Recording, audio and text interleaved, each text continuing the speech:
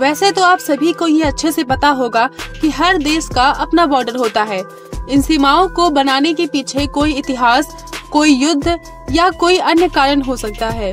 अक्सर ये सीमाएँ विवादों का कारण भी बनती हैं और सदियों तक इनका विवाद चलता ही रहता है। भारत और पाकिस्तान के बीच सीमा विवाद काफ़ी पुराना है। अक्सर पाकिस्तान भारत की सेना में घुसपैठ करने की कोशिश करता रहता है। भारत और पाकिस्तान दोनों देशों के बीच जम्मू कश्मीर में हमेशा तनाव बना रहता है और अक्सर न्यूज़ और समाचारों में एलओसी का ज़िक्र किया जाता है। लेकिन क्या आप जानते हैं एलओसी क्या है और इसका क्या मतलब होता है? जैसा कि आप जानते हैं, भारत और पाकिस्तान के अलग अलग होने के बाद से ही जम्मू कश्मीर दोनों ही देशों के लिए सबसे विवादित विषय है। और अक्सर इससे जुड़ी हुई खबरें आपको टीवी चैनलों पर देखने को मिल जाती हैं। आपको कई बार एलओसी का नाम भी सुनने को मिलता है। इसलिए ज़ाहिर सी बात है कि बहुत सारे लोगों को इसके बारे में पता होगा।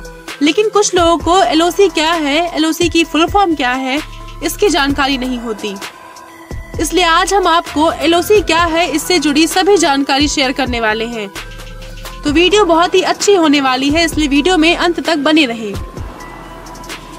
जानते हैं एलओसी का इतिहास क्या है।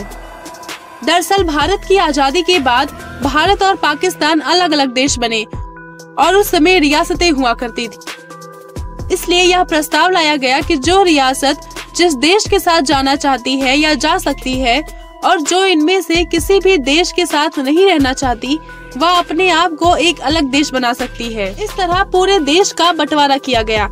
लेकिन उस समय जम्मू कश्मीर के महाराजा हरि सिंह अपने राज्य को स्वतंत्र रखना चाहते थे और उसे एक अलग देश बनाना चाहते थे। लेकिन पाकिस्तान जम्मू कश्मीर को पाकिस्तान में लाना चाहता था। लेकिन महाराजा हरि सिंह दोनों देशों में से किसी भी देश के साथ जाने को तैयार नहीं थे और वह अपने फैसले पर कायम रहे। इसी दौरान पाकिस्तान ने जम्मू कश्मीर को अपने साथ मिलने के लिए ताकत का इस्तेमाल किया और पाकिस्तान सेना ने कबालियों के साथ मिलकर जम्मू कश्मीर पर हमला कर दिया ताकि वह जम्मू कश्मीर पर कब्जा कर सके।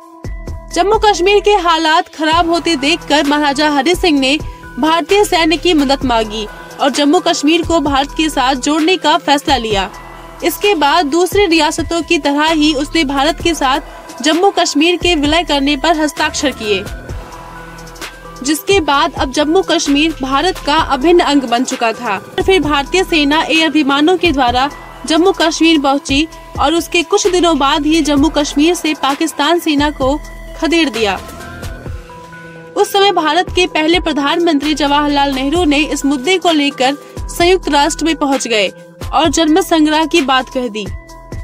लेकिन यह जवाहरलाल नेहरू की सबसे बड़ी गलती मानी जाती है, क्योंकि भारत पूरे कश्मीर से पाकिस्तान सेना और कबालियों को खदेड़ने वाला था।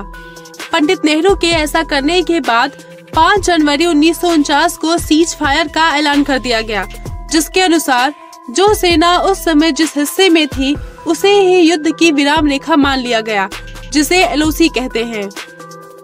भारत और पाकिस्तान के बीच सीज फायर का ऐलान के बाद दोनों देशों के बीच एक लाइन बन गई, इसे एलओसी कहते हैं। एलओसी यानी लाइन ऑफ़ कंट्रोल जिसे हिंदी में नियंत्रण रेखा भी कहा जाता है। युद्ध विराम के बाद जो हिस्सा पाकिस्तान सेना के पास था उसे आज पीओके यानी पाकिस्तान ऑक्यूपाइड कश्मीर के नाम से जाना जाता है। भारत और पाकिस्तान के बीच खींची गई नियंत्रण रेखा 740 किलोमीटर लंबी है, जो दोनों देशों के बीच सबसे बड़ा विवादित विषय है।